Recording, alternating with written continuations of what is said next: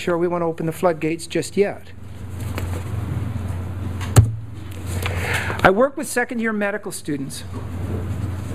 And the particular chunk of their curriculum I'm responsible for is called a self directed learning option. So these are particularly bright, usually highly motivated people who want to pursue a passion of their own, and there's nothing in the curriculum letting them do it. So they submit a proposal to engage in a self directed project. It's part of a course where there are also large plenary sessions run. So over 300 students show up, but some of them show up in Prince George, some of them show up in Victoria, and very soon a bunch more will show up in Kelowna. So you've got video conferencing going on all the time. The plenary may be from any one of those places. In fact, yesterday's plenary was from Prince George. We believe that those plenaries are considerably more valuable if the students have time to think about and, more to the point, talk to one another about the issues that are raised. In the course called Doctor, Patient, and Society, issues like uh, harm reduction, domestic violence, complementary and alternative therapies, just to name a few topics, are, are key. And we want our students talking about those things. But our self-directed uh, project students aren't in a tutorial to do that. They go off and do their projects. So the question becomes, how do they communicate with each other to help construct meaning based on these impactful plenaries? So we set up an online forum for that. And the students said back, we hate this. We, of course, stipulated a certain number of postings and we have somebody who reads them to make sure they have some depth, and students find this demeaning. And here's my favorite word contrived. Oh, well, what would you rather do? Well, just let us talk about these things. We will if you'd get out of our way. There are hallways, you know, there are cafeterias. We do have time. And I say back, but how do I know you did it? And they say back, trust us. Interesting thought, really, isn't it? so uh, these examples, these examples, uh, I bring up for a number of reasons. First of all, I think they're varied. Secondly, they're extremely salient. Like your practice, this is day to day in mine, day to day. And I am not on the edge of technology. I am not an early adopter. But it's part of my life day in, day out. The other thing that I find fascinating before we get into just some theories of change is that these examples always push me to think about my practice and my students' learning in better ways than before these ideas came along. Even when I react rather um, violently against them, so to speak, it still forces me to ask, as Tony would ask, why? What's the problem? What are you, there's something you value that you think you're going to lose. Have you ever articulated that before? Maybe not. So, there by way of some examples for me. Uh, when Tony goes through some of the other examples, and there are far, far more, try to keep in mind how these things do a lovely job of rattling our educational cages and make us continue to think about who we are and why as educators. So, um, here comes the psychological bit. I thought that uh, we could actually draw a little two by two table to help us understand the kinds of change that we might be talking about today. For example, there is that whole category of change that we choose. Remember that notion of control? I've chosen to change. I'm moving out of this apartment and I'm buying a house with a yard and I've chosen to live with the debt. That kind of change. As opposed to change that is, to quote Shakespeare, although he wasn't talking about change, he was talking about greatness, thrust upon us. I was just walking along minding my own business here on campus, and the next thing you know, I had to produce a website. Give me a break. Or as a colleague of mine once said back in the day, apparently we, were, we weren't working hard enough before. hmm?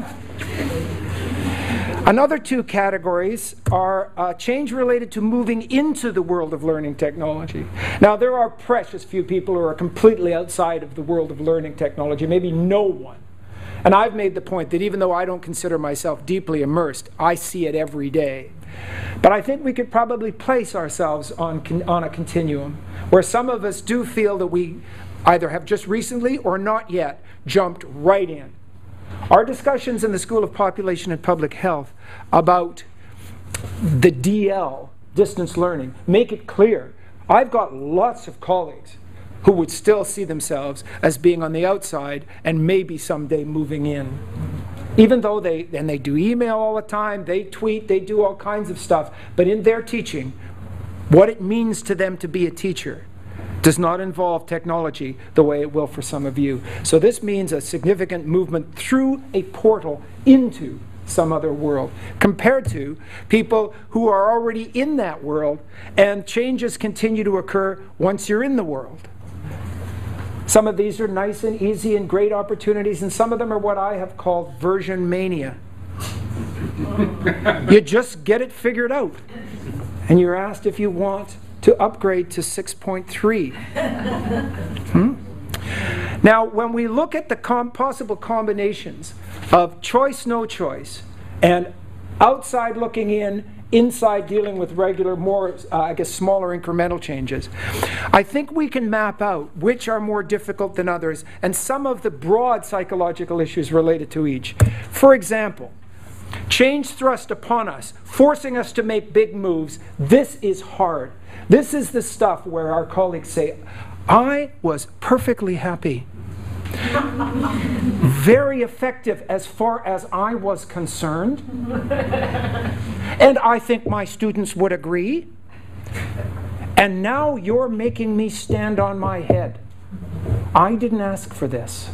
This change will be very hard. Some of you in the room perhaps try to administrate or manage some of this change with colleagues. It's a ball of laughs. Compared to this one where you're in, you're neatly immersed, and you just choose to make little changes along the way. You, you see a presentation in Prezi, and you say, okay, caused a little nausea, but otherwise, otherwise it was fascinating. I think I could create a Prezi presentation that actually did not yield vertigo in my audience. I am choosing to make a change because I know about presentation software. I enjoy it. It makes me better at what I do.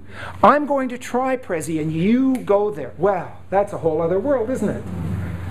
Uh, a completely different world. The other, um, it, what we like to call in our business the off diagonals are always fascinating. In this case, change that we choose, but that moves us. So one day you wake up and say, okay, that's it. I've got to get something going on Blackboard for this course. I'm tired of students keeping coming up to me every term and saying, what's, what's the uh, URL? Um, or uh, have you put this stuff on Blackboard? I, am tired of blinking back at them and saying, the U, I'm, I am what? and that's moderately hard. And this one, changes that are thrust upon us but that continue daily, those are, I would call them annoying but manageable. This is the Vernon, uh, sort of version mania, I think.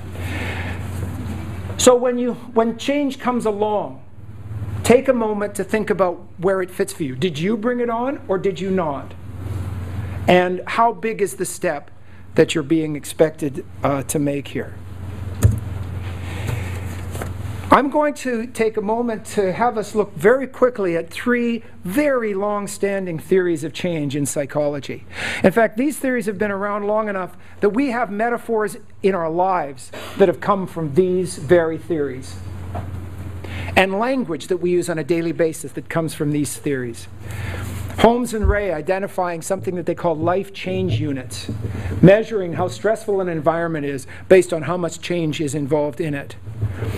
The stages of change model by DiClemente and Pro, uh, Prochaska. I, mm, I wonder if I've got an H out of place there. Sorry. It's a slight dyslexic problem. Prochaska is the way that should be. At any rate, stages of change, sometimes given the $10 name, the trans-theoretical model of change, uh, where we're told that we actually go through a series of stages as we try to manage change. And then one that I'm sure many of you are familiar with, the notion of what Rogers called diffusion of innovation, and the idea that there are actually types of people when it comes to change. Let's just take a quick look at each one of those and some of the implications for what we're, uh, what we're talking about today. First of all, life change units. Have you seen a life change scale or life change unit scale? I think one right near the top that's worth something like 100 points, which is the most points Holmes and Rahe assigned to anything, is getting married. I think they put that higher than uh, death of a loved one. Just a, an interesting notion. My daughter's getting married in November. I haven't told her about that. but the assumptions behind this is that a change isn't as good as a rest.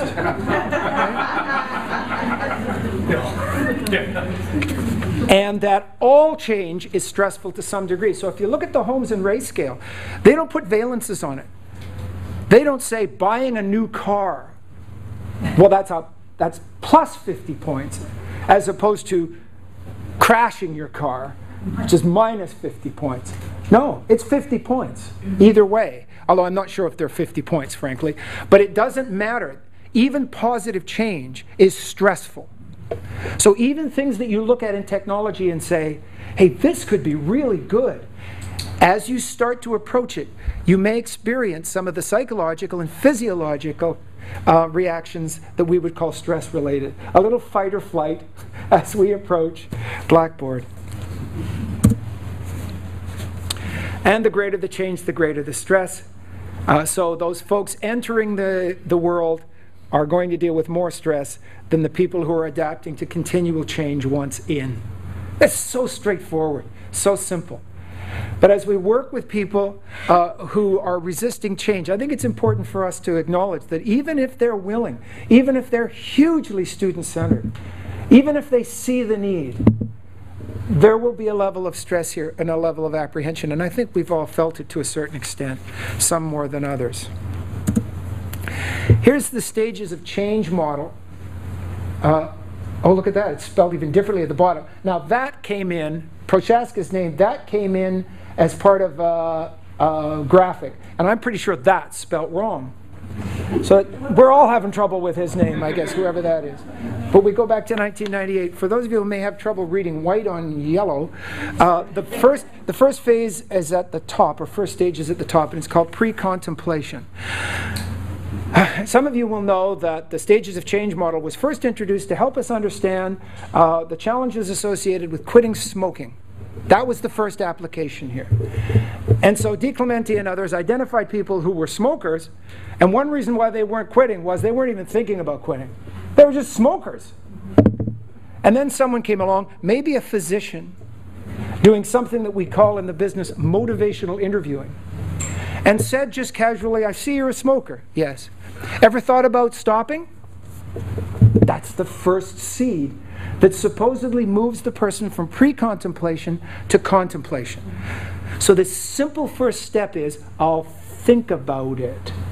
Which for most people feels like, oh, you're just putting me off, you won't think about it. But for the physician who's only got a 15 minute window with a patient, I'll think about it as a big deal actually. Because then you make a note of it and you follow up. And the next visit with that patient, you say, last time you were in, we talked a little bit about your smoking. You said you were going to think about quitting. Have you, have you given that any more thought? And that's how you push uh, gently the person or motivate the person to move down this list. So there are technologies out there that I am entirely, as these folks would say, pre contemplative about. One thing that I'm both interested in and a bit worried about today as Tony takes over the podium is these things are going to get blown up and I'm going to have to get contemplative. this is one of the problems with Tony, as I told you before.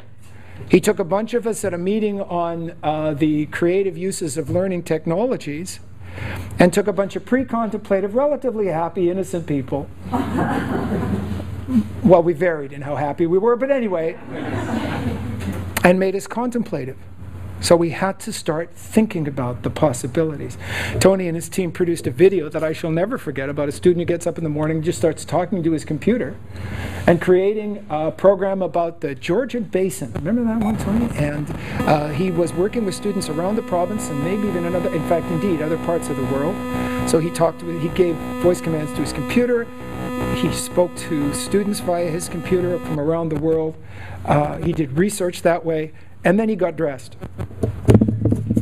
right? And, and some of us, uh, this would be back about 2001, 2002. For some of us, this was unbelievable. We'd never thought that this was an option. So the next step is. Uh,